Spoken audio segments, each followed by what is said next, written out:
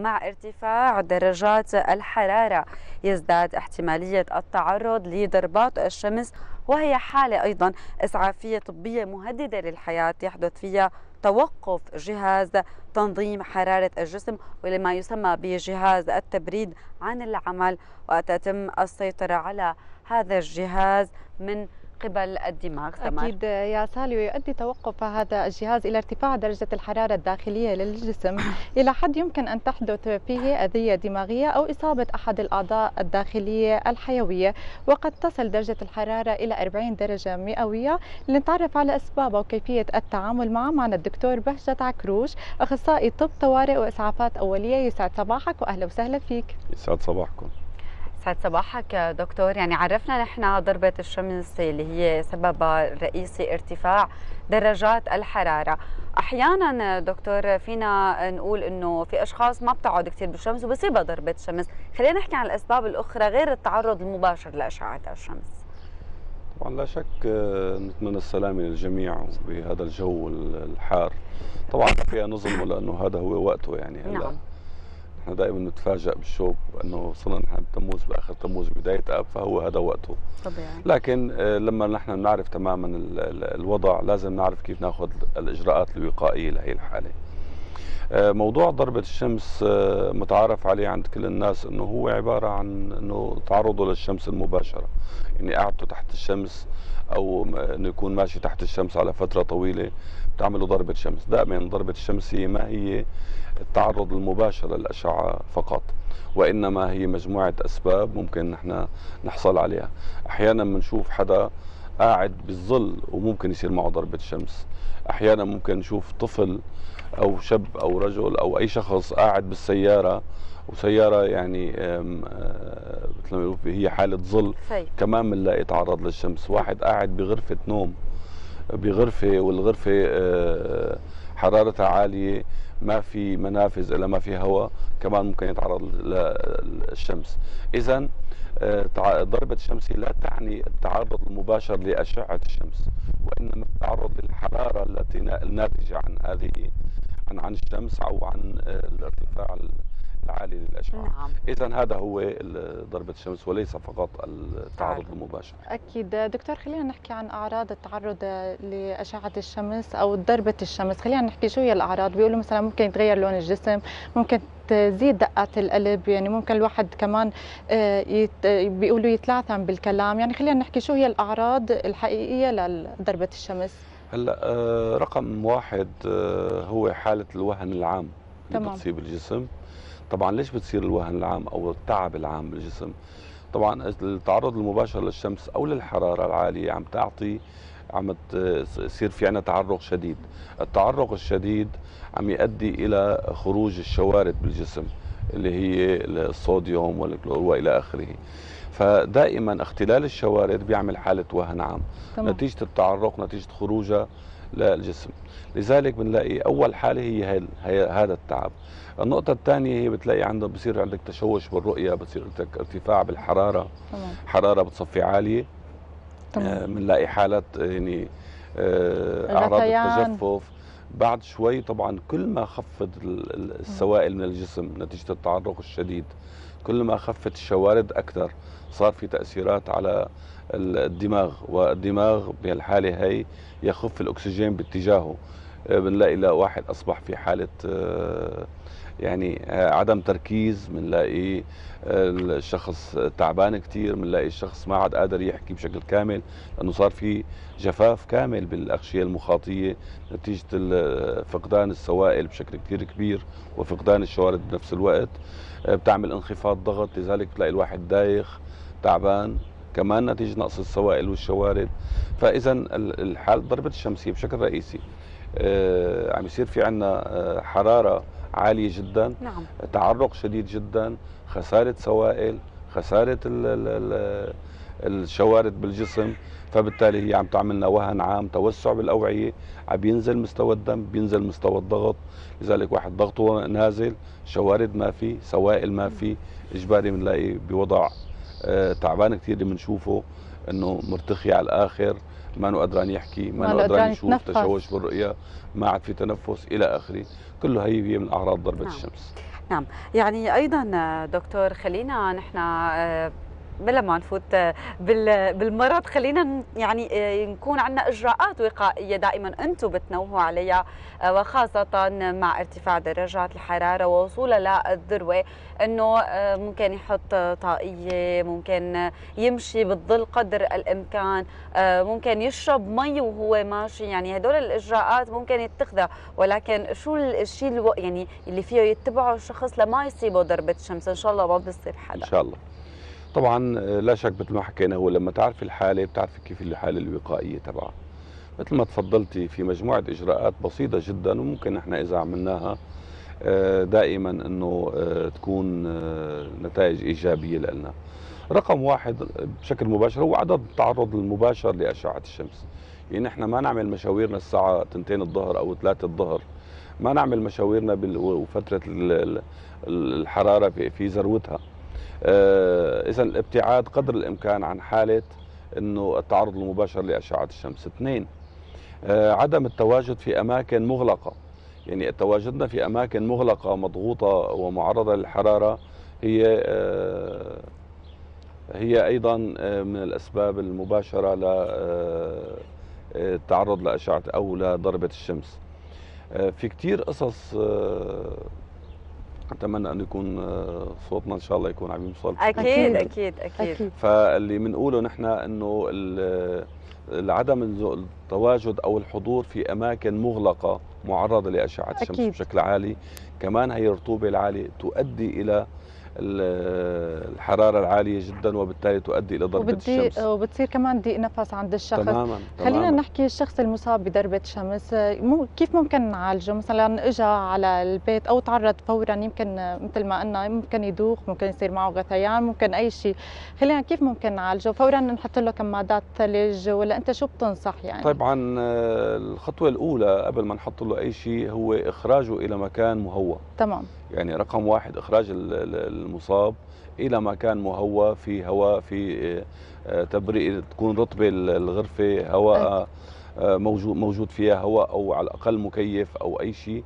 يعني ما تكون آه، منطقة حرارة فيها الحرارة عالية. اذا إخراج المصعى المريض أو الشخص المصاب من المكان المباشر للأشعة أو لارتفاع درجة الحرارة. تمام. اثنين إعطاء السوائل. رقم واحد إعطاء السوائل لأنه السبب الرئيسي هو بيصير عنده تجفاف نتيجة الحرارة العالية تمام. فبصير في عنده نقص سوائل لذلك مباشرة يجب تعويضه بسوائل حتى إذا صار معه الغثيان وصار مثلا ما بيقدر معه ضيق تنفس معقول نشربه فورا دكتور؟ طالما هو قادر عم يتنفس يشرب.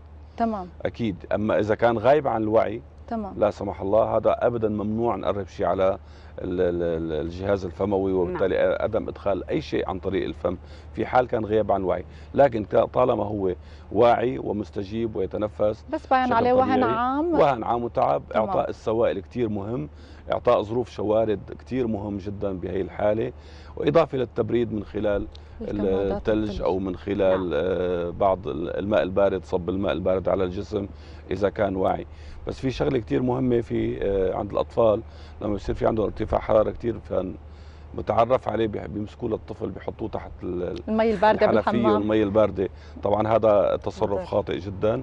آه، يجب أن يكون تدريجي يعني نحن نعرضه للسوائل نعطيه سوائل نبرد له جسمه شوي شوي لحتى نقدر صحيح. آه نعوض له أو نعدل له درجة حرارة جسمه بشكل أو بآخر صحيح يعني دكتور آه مع هالإجراءات الوقائية اللي ذكرتها حضرتك يمكن كثير آه من الأشخاص ومننا من أيضا نحن تفادينا أخطاء شائعة مثل ما قلت إنه نعرض الطفل لل ماء البارد فور وقوعه في ضربة شمس أو أي شخص حتى الشاب أو البالغ.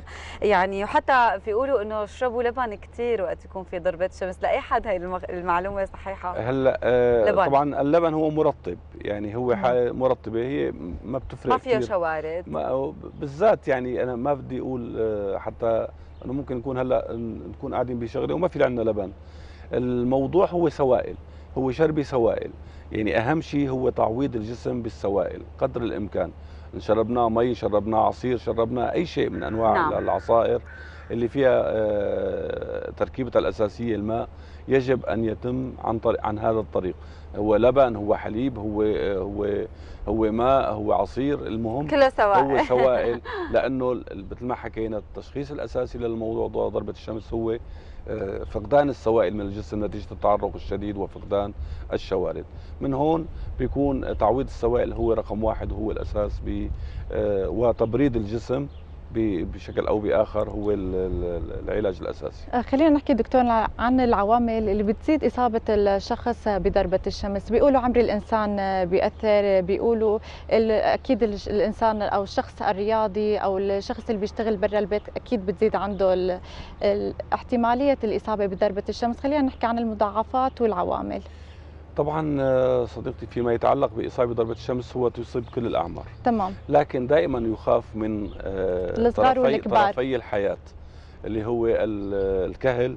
بتكون مناعته ضعفت شوي بيكون هزيل أكثر الطفل لساته في طور البناء ما عنده بنية متكاملة ما عنده بنية مناعية متكاملة. نعم. فلذلك بتلاقي معرضين للإصابة أكثر من الشباب الشباب بيكون تقريبا جسمهم مكتمل مناعتهم مكتملة بيكون قدرتنا على التحمل أفضل هلأ فيما يتعلق بالعوامل وكنا عم نحكي فيها قبل شوي ووقفنا عندها اللي هي فيما يتعلق شو هي الأسباب اللي ممكن تساوي ضربة الشمس تمام.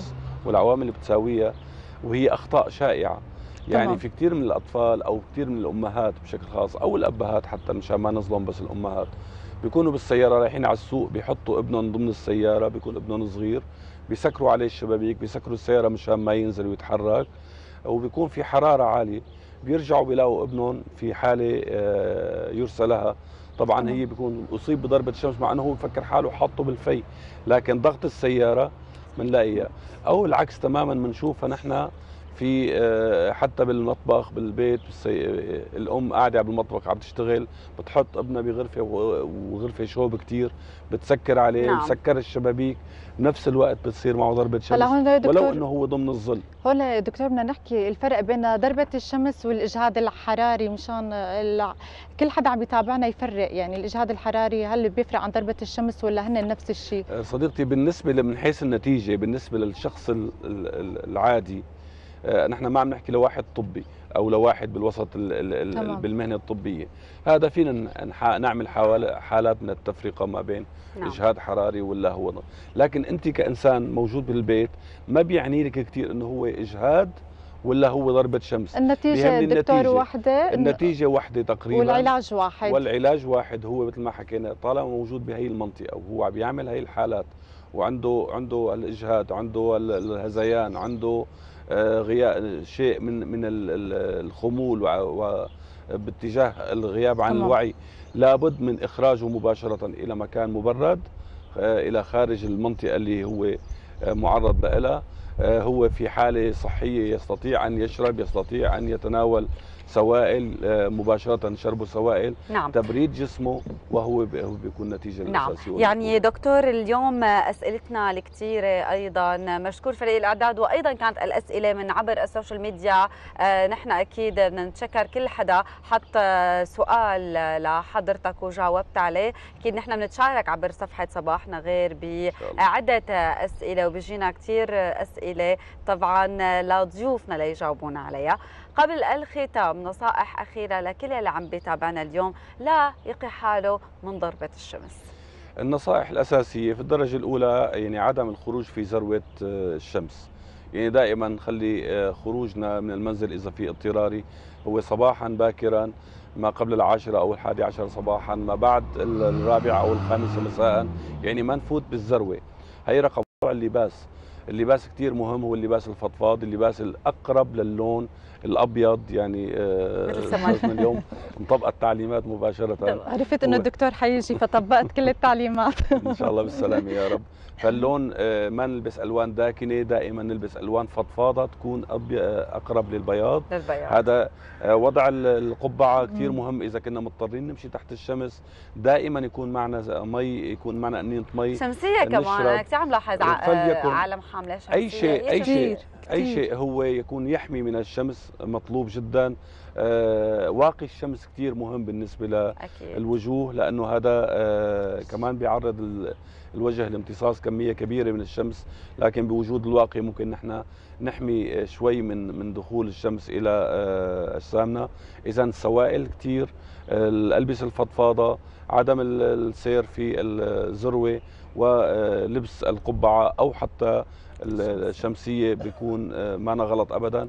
وفي حال تم الإصابة أو حدا داخ بهالحالة هي مباشرة يفترض إنه يتاخذ على جنب ويسطحوا ويرفعوا شوي رجليه حتى نزيد الضغط على الدماغ أو العودة الرو- الوريدي أو الدموي للدماغ وبالتالي إن شاء الله بيكون بخير وسلامة. إن شاء الله.